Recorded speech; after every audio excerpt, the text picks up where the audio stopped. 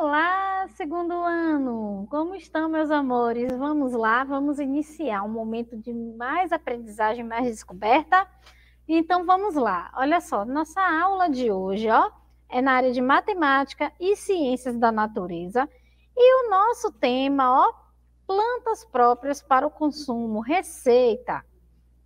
É, então, na última aula que nós tivemos aí de matemática e ciências da natureza, é, nós vimos, né, nós estamos aí falando de plantas, e nós vimos que existem plantas que são próprias para o consumo, né? Assim como existem plantas que precisam ficar no jardim, assim como existem plantas que nós conseguimos, né, colocar ali num vasinho dentro de casa, existem plantas que nós podemos consumir.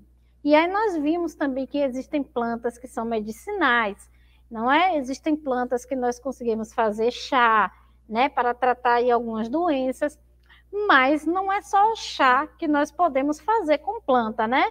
Então, o que, é que nós podemos fazer além dos chás para tratar doenças? É o que nós vamos ver hoje, tá bom? Mas antes, olha lá, a gente vai fazer uma retomada aí sobre as plantas medicinais. Então, Pro, o que é mesmo uma planta medicinal? Eu trouxe até um exemplo aqui, ó, é, essa, essa, essa planta aqui, que é uma planta que a gente costuma fazer chá, que é a é, erva cidreira, certo? Olha lá, é, a erva cidreira também é chamada em alguns lugares aí como melissa, né? Então, a erva cidreira, tá?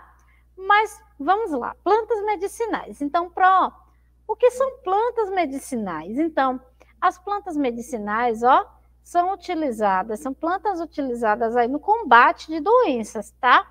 Então, os conhecimentos sobre essas plantas geralmente são passados de geração em geração, mas já tem estudos que comprovam as propriedades de algumas plantas. Então, na realidade, é, as plantas, né, que têm aí esse poder medicinal, que ajuda no combate de doenças, por exemplo, nós vimos, né, na aula anterior que o agrião é uma planta que auxilia ali na, no combate às doenças do sistema respiratório. Então, gripe, resfriado, o orégano, né?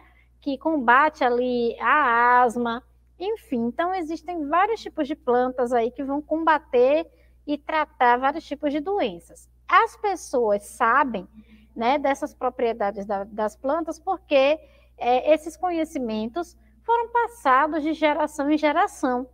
No entanto, né? É, algumas pessoas também já estudaram é, essas plantas e já viram que realmente esses efeitos são verdadeiros, tá bom? Que realmente algumas plantas têm o poder aí de tratar e de prevenir doenças, certo? Então, eu trouxe hoje aqui mais algumas plantas medicinais. E agora eu quero mostrar para vocês que quando nós falamos de planta, é, nós não estamos falando apenas de folhas, tá? Então, é, você pode pensar assim, ó, é, é, a gente só pode fazer chá, xarope, né, remédios com as plantas, se a gente utilizar ali as folhas, não. Nós vimos também nas aulas anteriores que a planta, né, tem ali raiz, caule, né, folha, fruto, flor. Então, ela tem basicamente aí essas cinco partes, tá bom? E vocês sabiam que existem plantas aí que a gente pode usar outras partes além das folhas? Então, olha lá, a gengibre, por exemplo, é uma raiz, olha lá, e nós podemos utilizar para prevenir gripes e resfriados. Ela auxilia também nas doenças, né, do sistema respiratório. Então, observe, ela é uma raiz, ela não é uma folha, mas ela, ela é parte de uma planta, tá bom? Então, ó, tem plantas aí que nós vamos aproveitar outras partes além das folhas, certo? Olha lá, já a umburana, nós aproveitamos a casca da umburana, tá? O proia umburana vai servir para quê? Ela auxilia no tratamento da asma, auxilia aí é, nas inflamações e também nas cólicas intestinais, tá bom? Olha lá que interessante, nós também podemos utilizar flores, olha lá, essa flor aqui é o hibisco, tá? Nós vemos muito o hibisco é, sendo vendido nas ruas. Eu, já, eu mesma já comprei o hibisco. Ele vem desidratado, né, no saquinho. E essa é a imagem, ó, do hibisco, certo?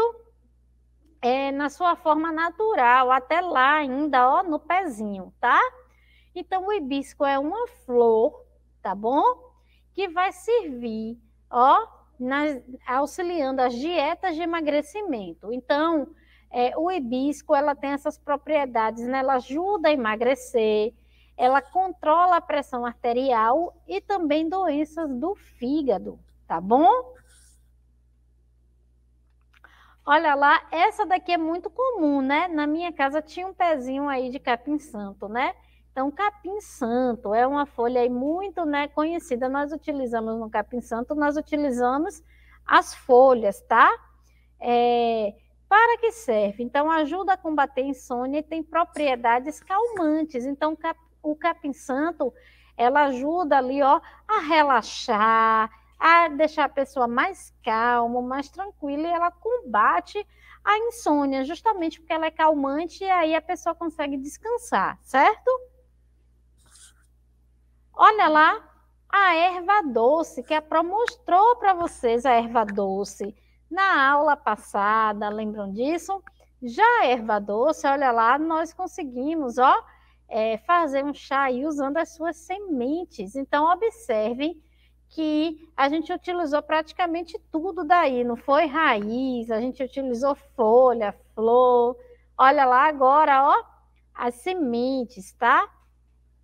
É, a erva doce, ela é muito utilizada para ajudar e a tratar algumas questões aí do nosso sistema digestório, da nossa digestão. Então, por exemplo, é, ajuda aí na digestão, ajuda na eliminação de gases. É muito comum, né? A partir do momento que o médico libera, né? O pediatra libera, quando o bebê, porque tem uma fase que o bebê só pode mamar no peito da mãe, não é? mas quando ele está um pouquinho maior, que o pediatra já libera, o pediatra é o médico que cuida de criança, tá?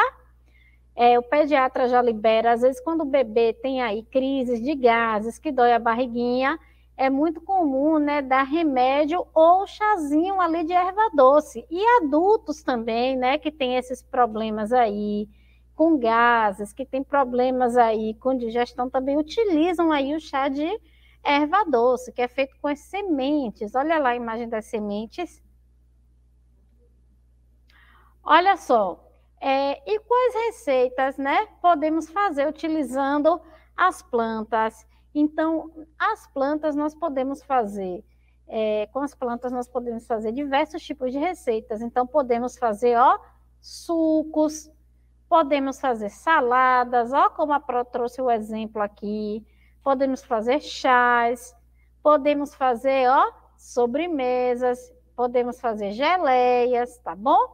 Olhando aqui para essa animação que a Pro colocou, onde será que estão aí as plantas nessa salada? Essa receita aqui é uma salada, né? Onde será que estão aí as plantas? Será que o segundo ano me diz? Onde é que está a planta aí nessa salada?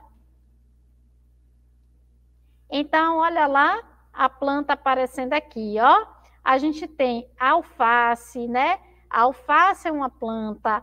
O tomate, o tomate, ele é o fruto, né? A gente já viu que o tomate é, um, é uma fruta, então ele também vem da planta.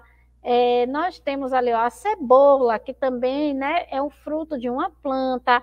A azeitona, né, que é o fruto ali da oliveira, certo? A azeitona também vem de uma planta, tá bom? Então, nessa salada aqui, a gente tem várias plantas, certo? E vamos relembrar um pouquinho, já que nós estamos falando aí de receita, tá? É, o segundo ano já viu que a receita é um texto que tem, ó, um título, que o título ali é o nome do prato, certo? Os ingredientes, que é o, tudo que nós vamos utilizar na receita, tá bom? e também o modo de fazer, que é ensinando como é que você vai usar esses ingredientes para conseguir ali fazer a sua receita, tá? E aí, olha lá, Nós temos aqui um exemplo que a Pro trouxe, que é um suco de laranja com couve. Olha lá a planta, né? A couve ali e a laranja também vem, ele é fruto de uma planta, de uma árvore, certo? Assim como, ó, o limão.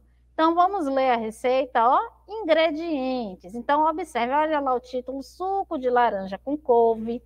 E aí, uma das partes, ó, ingredientes. Uma folha de couve, duas laranjas, meio limão, 200 ml ou mililitros de água. Lembrando que ml é uma representação da palavra mililitro. A Pro já falou isso aqui, tá bom?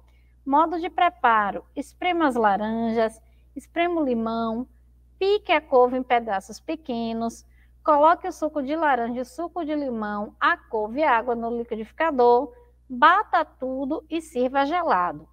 Nós aqui podemos né, fazer algumas variações dessa receita. Por exemplo, essa receita é uma receita que não vai açúcar, tá? Mas de repente você pode falar assim, a ah, pro, eu não tomo suco sem açúcar. Você pode acrescentar açúcar, você pode acrescentar mel, se você tiver. De repente você fala assim, pro, na minha casa todo mundo só toma adoçante. Você pode colocar adoçante. Ou se você quiser, você pode tomar o suco também do jeito que está aqui, sem nada, só mesmo com doce aí das laranjas, tá bom? Agora nós vamos para um momento muito especial, onde nós vamos fazer essa receita. A Pro vai fazer junto com vocês esse suco e vai experimentar. Então vamos lá? Então, segundo ano, vamos lá para a nossa receita. Então, ó, primeira coisa que eu vou fazer, eu já passei, né, já lavei as mãos, já passei um pouco de álcool, mas vou passar aqui de novo, ó, um pouco de álcool gel nas mãos para deixar aqui bem higienizada, tá bom? As mãos aqui limpinhas. E aí, o que eu vou fazer? Aqui no liquidificador, eu vou começar a colocar aí os ingredientes estavam receita. Então, aqui, ó, na xícara aqui, olha lá. Nessa xícara eu tenho suco de duas laranjas, tá? Eu já passei no espremedor, olha lá, duas laranjas eu passei no espremedor, e aí eu coloquei é, o suco aqui nessa xícara, tá bom? Bom, Agora a receita também pedia o suco de meio limão. Olha lá, meio limão. Eu já usei lá a outra parte, passo no espremedor. Tirei aqui, ó, o suco de meio limão e vou colocar aqui, tá? Uma folha de couve, que eu já lavei aqui, já higienizei, tá? Sempre pedi ajuda aí uma pouco para higienizar é, as folhas, tá bom? Aí eu vou rasgar tá certo? E colocar aqui no liquidificador. 200 ml de água, olha lá, 200 ml de água tem aqui nesse copo, tá bom? Lembrando, 200 ml ou 200 mililitros é uma medida exata, né? Então não tem como errar aqui. E lembra que eu falei que o açúcar era gosto, é, na receita não tem, então você pode tomar sem açúcar, você pode colocar açúcar, açúcar mascavo, mel, adoçante, enfim. Como eu é, gosto de suco com açúcar, eu vou colocar aqui só uma colher ó, de sopa, tá bom? De açúcar, tá? Lembrando que colher é uma medida não exata, porque eu não sei ali quantos gramas de açúcar eu tenho, né, é, nessa colher. Eu posso fazer ali uma aproximação, mas eu não sei exatamente quanto tem ali de açúcar nessa colher, tá bom? E aí, agora, ó, vamos bater o nosso suco. Vamos lá?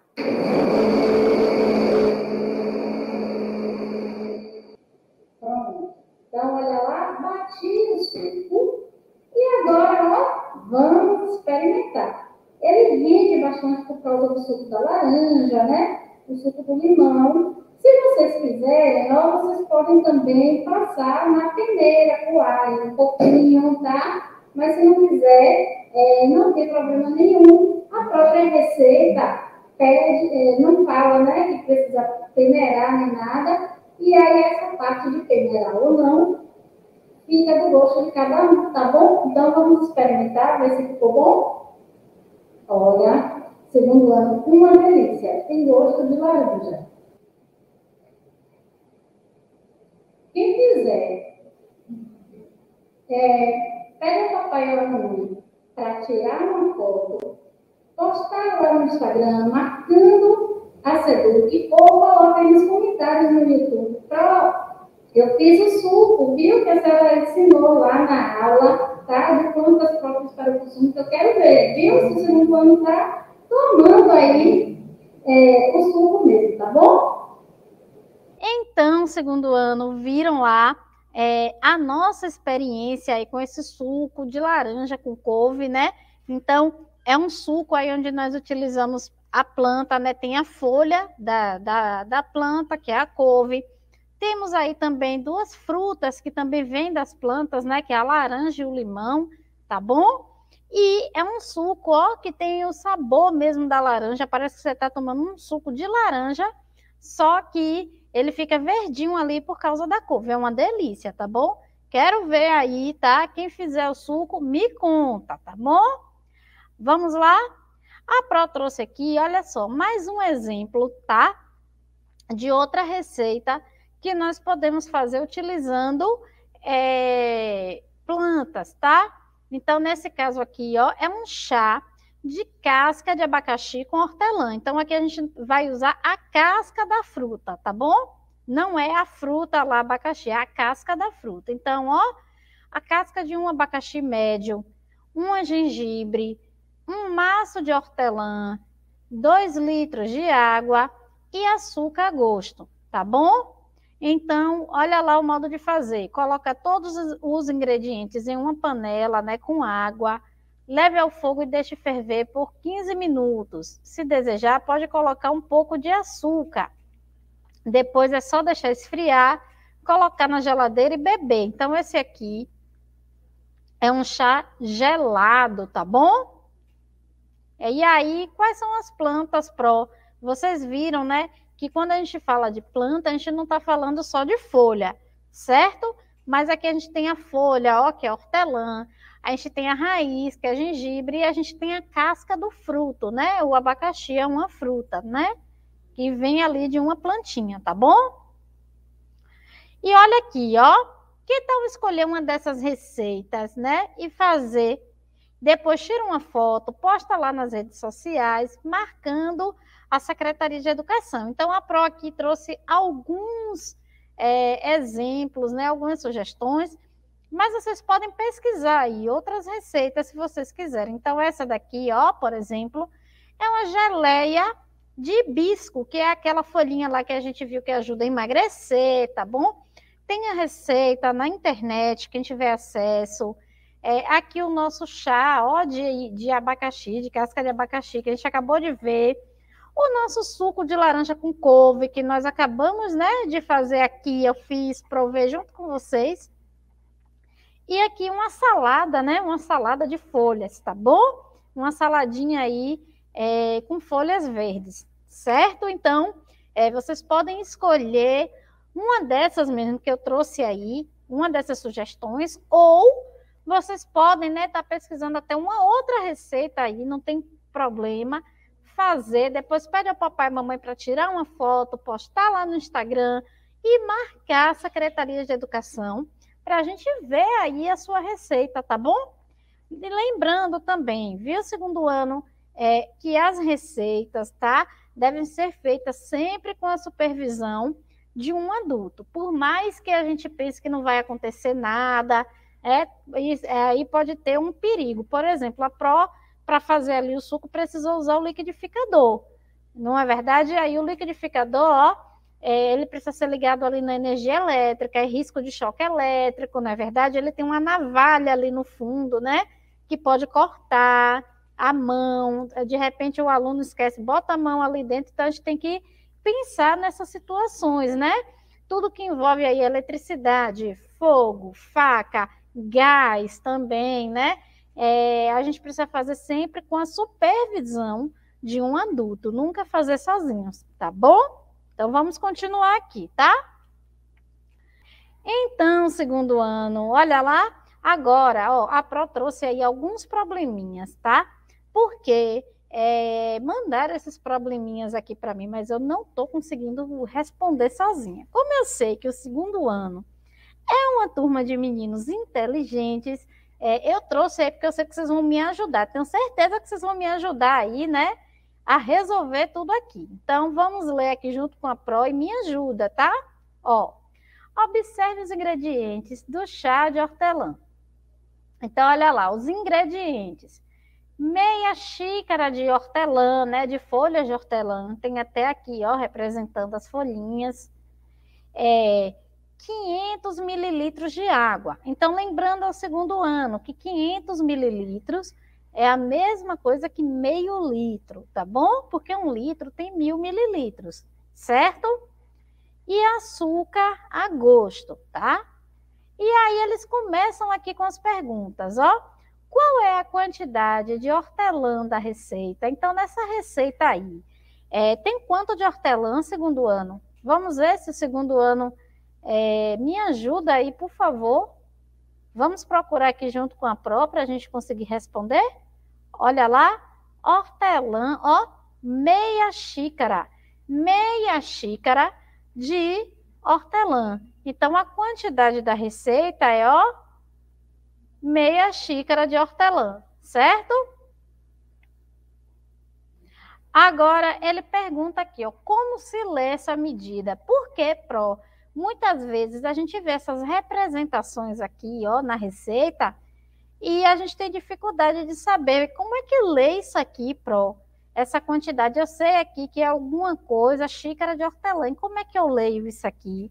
Olha lá, meia xícara de hortelã. Esse 1 um aqui, com esse tracinho e o 2, significa meio, metade, tá bom? Então, aqui, ó, é meia xícara de hortelã, que nós vamos ler, tá certo? Agora, ó, eles pediram para a Pro dobrar a receita. O que é dobrar? Dobrar é a mesma coisa que fazer o dobro, ou fazer duas, ve duas vezes, tá bom? O dobro significa duas vezes. É a mesma coisa de fazer essa receita aqui duas vezes, tá bom? Agora eu quero a ajuda do segundo ano. A gente precisa dar o dobro aí desses ingredientes, tá? Então, se eu tinha meia xícara de hortelã, meia xícara é metade de uma xícara. Eu tenho uma xícara e eu só uso a metade. Só coloco hortelã aí até a metade. Se eu vou fazer essa receita duas vezes, se eu vou dobrar, vai ficar quanto aí a xícara? Vai ficar quanto de xícara? Se em meia xícara eu tenho uma metade, eu dobrei, eu tenho, olha lá, uma xícara. Então, olha aqui a representação da xícara, ó. Meia xícara, ó. Meia xícara com meia xícara é igual a uma xícara, certo? Olha lá, a água, ó, um litro de água. Porque eu tinha aqui 500 é, mililitros e eu sei que um litro de água é igual a mil é, mililitros, certo? Então, eu poderia colocar aqui também ó, mil mililitros de água. Mil mililitros é a representação, né, também de um litro, tá bom? E açúcar a gosto, né? Porque o açúcar aqui nós não temos, ó, uma quantidade, tá bom? Bom, outra questão aqui que eu quero chamar a atenção do segundo ano é o seguinte, ó eu tenho aqui duas medidas diferentes é, nessa receita. Eu tenho aqui uma medida que é a xícara, ó, uma xícara de hortelã. Então, xícara é uma medida não convencional. Por quê, Pro? Porque eu não sei exatamente ali a quantidade que eu tenho naquela xícara. Essa quantidade, inclusive, pode variar de xícara para xícara, porque existem xícaras que podem ser maiores, xícaras que podem ser menores, tá bom? Então, pode variar aí, tá certo? É, e quando eu falo aqui, ó, um litro de água, ó, litro já é, é uma medida convencional, porque eu tenho uma quantidade exata de água, tá bom? Então, se a receita pedir um litro e eu colocar um litro, se eu colocar ali certinho, raramente essa receita vai dar errado, tá bom? Olha lá um probleminha. Jaqueline e Ramon, dois alunos da Protainá, fizeram chá de hortelã. Aquela receita que a gente viu, ó, essa receita aqui, ó, o segundo ano que a gente dobrou, ó, eles fizeram, tá? Jaqueline e Ramon. Nas, é, nas medidas das folhas, usaram as xícaras que tinham em casa. Porém, o chá de Jaqueline ficou mais forte e o chá de Ramon ficou mais fraco. O que, que pode ter acontecido? Eles foram fazer ali, né? É, a receita e na hora de medir ali a quantidade de folhas, cada um pegou a xícara que tinha em casa. O chá de Jaqueline ficou um pouquinho mais forte e o de Ramon ficou mais fraco. O que, é que vocês acham, segundo ano, que pode ter acontecido aí? Que fez com que essa receita ficasse diferente uma da outra? O que é que segundo ano acha? Então, olha lá, a Pro vai mostrar aqui, ó. A Pro tem aqui essa xícara, essa xícara eu usei lá, ó, na receita. Lembra quando eu fui fazer o suco? Então, o que é que pode ter acontecido aí? Eu tenho essa xícara e eu não sei exatamente qual é o tamanho dessa xícara, tá? Como ela é um, um instrumento aqui, um utensílio, né? Que a gente usa para, principalmente para beber, para tomar líquidos, então a medida dela vai ser em mililitro. Mas eu não sei, a Protainá que não sabe quantos mililitros tem essa xícara, certo? E aí, o que é que pode ter acontecido, Pro? De repente, na casa né, de Ramon, a xícara que Ramon usou foi uma xícara menor do que a minha. Observe que a minha xícara não é pequenininha, ó. Ela não é pequenininha, ela é um pouco maior. Então, meia xícara de hortelã aqui vai vir bastante hortelã. Mas se eu pego uma xícara pequena e eu boto meia xícara, aí vai vir menos folhinhas de hortelã ali. Então, o que pode ter acontecido é que, como a gente não sabe a quantidade exata de hortelã, porque xícara é uma medida não convencional, é, eu boto aqui meia xícara, eu não sei quanto eu tenho de hortelã. Ramon também não sabia quanto tinha de hortelã, isso deu aí uma diferença no, no resultado final do chá. Mas se eu usasse, né, em gramas, por exemplo, utilize 200 gramas de hortelã e utilize um litro de água. É exemplo, tá bom? Segundo ano, aí não teria como a receita dar errado, a receita ia ficar igual, porque são medidas convencionais, são medidas exatas, tá bom? Então, olha lá, como a medida da hortelã da receita foi utilizando uma xícara, eles podem ter utilizado xícaras de tamanhos diferentes. Xícara, copo e colher são, não são medidas exatas, tá bom? Como não são exatas, deu uma diferença aí, tá bom? E olha lá, dicas culinárias para vocês não esquecerem. A prova vai mostrar aqui, eu vou até virar para esse lado que não tem estampa, né, na xícara Aqui tá. Aí o segundo ano visualizou bem, não visualizou? Pronto, ó. Então, toda vez que vocês virem aí numa receita, né, falando, utilize, e aí tem essa representação aqui, ó, o 1, o traço e o 4, significa, ó, um quarto de xícara. Pro, como é que eu utilizo um quarto de xícara? Eu pego uma xícara e mentalmente eu divido em quatro partes iguais. Então, eu posso marcar aqui, ó, um, dois, 3, 4. Então, eu dividi em 4 e eu vou usar só uma parte aqui, tá certo? É um terço de xícara. Então, a mesma coisa, eu vou dividir em três partes iguais, ó. Um, dois, três. Mentalmente, eu imagino, ó, que aqui passou uma linha, aqui passou outra linha. Então, dividi em três partes iguais e eu só usei uma parte. E aqui essa representação que nós já vimos, que é meia xícara, tá bom? Meia xícara vai ser metade da xícara, ó. Então, eu divido aí mentalmente essa xícara no meio. Eu imagino uma linha passando bem aqui no meio, tá? E eu vou utilizar só uma parte aqui dessa xícara, tá bom? Segundo ano, então, segundo ano, mais uma vez, foi um prazer estar aqui com vocês. Espero que tenha sido um momento de muita aprendizagem, onde vocês tenham aprendido várias coisas legais, tá bom? É, se vocês fizerem aí, ou aquele suco que a Pro fez aqui durante a aula, ou outra receita que a Pro sugeriu utilizando as plantas, pede ao papai e à mamãe para tirar foto, tá bom? Postar lá no Instagram marcar a Secretaria de Educação, que eu quero ver essas receitas de vocês, ou então comenta no YouTube, ó, lá nos comentários, tá? Se fez, o que achou. E já sabem que se ficar alguma dúvida, é, sobre a aula, anotar para perguntar pro no próximo encontro, tá certo? Ó,